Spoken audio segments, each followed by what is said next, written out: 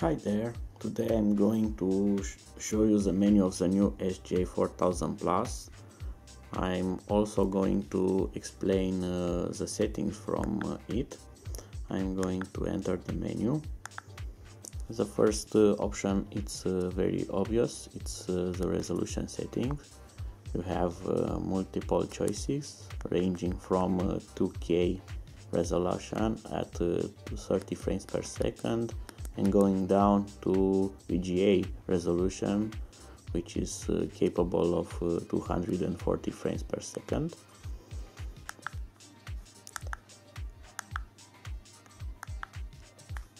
The next uh, setting is uh, cyclic record.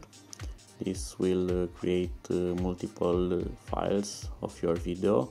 It will split the video at predefined time limits you have options for 3 minutes 5 minutes and uh, 10 minutes. We also have a wide dynamic range.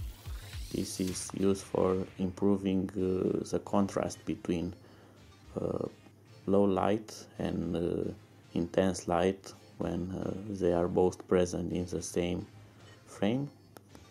Uh, the gyro sensor is responsible for in-camera image stabilization when the camera shakes or it's moved on uh, one of its axes it will actually stabilize the image and it will smoothen up.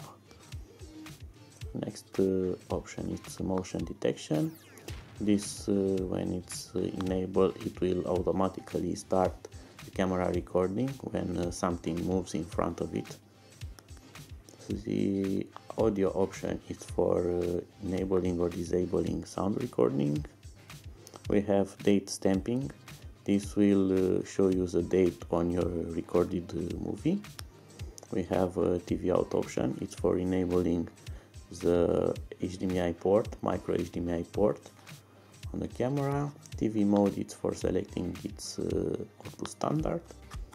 OSD mode it's uh, for showing uh, information on the screen about the remaining capacity of the card or, or uh, battery. Video Lapse it's for recording fast forward movies. Uh, you can set the interval at which the camera will take a snapshot. You have uh, from one second and going to one minute. Slow movie it's the reverse of the time lapse this will uh, slow down the action and you ha also have multiple choices but you must know that uh, when uh, you decrease the speed you're also going to decrease automatically the resolution. Image size it's uh, for uh, taking pictures you have multiple resolutions. White balance as usual you have presets for daylight, cloudy, tungsten, fluorescent. The ISO for taking pictures, ISO sensitivity of the sensor, the exposure. You can uh, have from uh, minus 2 EVs to blue plus 2. Capture mode, it's for taking a single shot and uh, also you can use it uh, for uh, taking a timed picture. Multiple pictures. This is another method of uh, doing uh, uh, video lapse but from pictures. Burst mode it's for taking multiple pictures. You can take three pictures and up to 30 pictures delete is for deleting uh, files from the SD card. You have an option to format the SD card. Uh, Wi-Fi SSID it's for uh, putting a name on your camera to find it on uh, uh, on your mobile phone. This is also password for the Wi-Fi.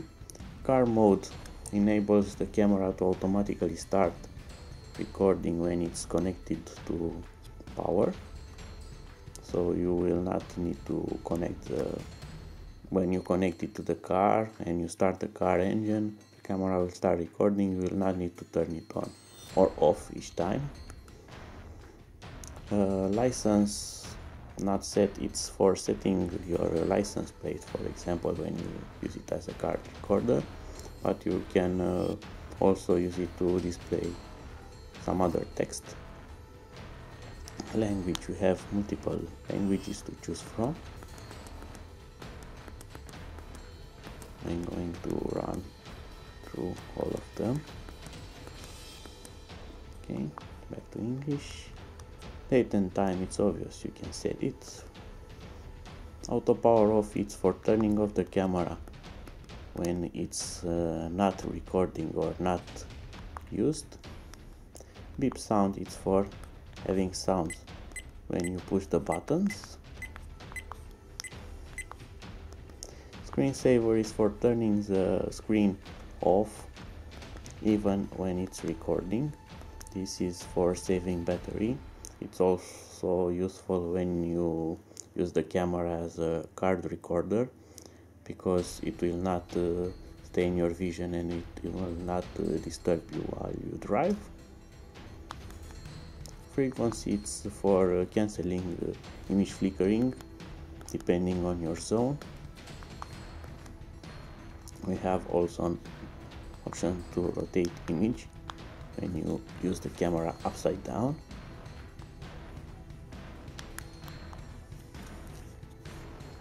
We have an option to reset the camera to default settings factory settings.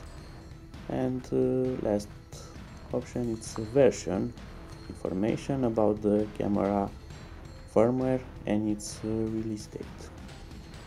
Right I'm going to exit the menu. We also have here a button which when I long press it will turn and act as a zoom button. And if I short press it it will turn on the Wi-Fi connection letting me connect to the camera with the phone. So that's about it. Menu it's easy to follow and now you know what each setting will do. Bye bye